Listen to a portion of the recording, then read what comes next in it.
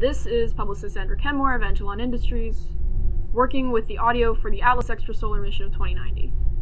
Atlas mission launched June 19, 2090, with the intent of carrying astronauts out of our solar system for the first time. However, for whatever reason, it seems that the astronauts on mission destroyed their own ship just after getting beyond the Oort cloud. Now, normally I would be working with video footage, but for some reason, the video has been lost. Current theory is that the astronauts, one Red McGallagher, Oh man, my dog's not gonna see me for three years. That's what, 21 dog time?